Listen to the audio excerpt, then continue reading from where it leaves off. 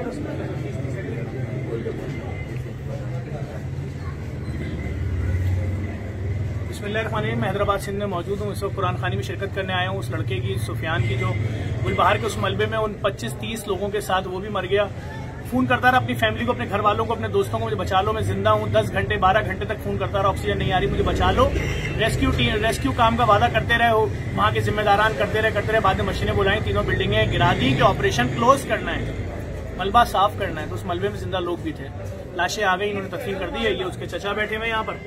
ये उसकी बीवी के वालिद साहब बैठे हुए दो महीने की शादी थी, ये उसके वालिद साहब है, ये उसके भाई उसके ताया क्या अपील करोगे? इमरान खान साहब से वज़ीर आला से सबसे जितना हुक्मरान साहब से बस ये अपील करना चाहता हूँ प्लीज़ इतना तो कोशिश कर लें। मशीनें तो खरीदना कम से कम खुदा के लिए मशीनें कि किसी और का भाई है मलबे के नीचे से फ़ोन ना कर रहा हो कि प्लीज़ मेरा दम घुट रहा है मुझे बचा लें प्लीज़ मुझे बचा लें। अंकल आप क्या बोलेंगे? इमरान खान मतलब आप मतलब तुम्हारा बेटा दबता तुम इतनी देर करते मशीनें नहीं भेजते कोई ऑक्सीजन नहीं भेजते ये बताए बताएँ।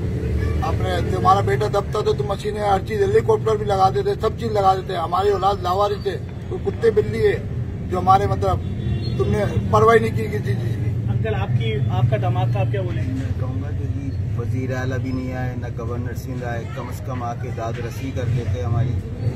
कोई भी नहीं आया। देखिए मैं इतनी सी बात बताऊँ। अंकल गाड़ियों में पेट्रोल आप डलवा रहे थे जो मशीनों में खत्म हो रहा था? जनरेटरों में पेट्रोल भी यही दलवा रहे थे, जिनकी फैमिली के लोग वहाँ दबे हुए थे। बस इतनी सी अपील करूँगा उस बेटे ने अपने बाप को हज में भेजने के लिए पंद्रह लाख रुपए भी उसी दिन रखे थे। इनको फ़ोन किया था कि, बाबा, आपका फॉर्म भर रहा हूँ। वो अरमान भी खाक में मिल गए, जवान भी खाक में मिल गया और अपने बेटे को नहीं रो रहे। कह रहे हैं, वज़ीर आज़म साहब, मशीनें अब तो खरीद लो।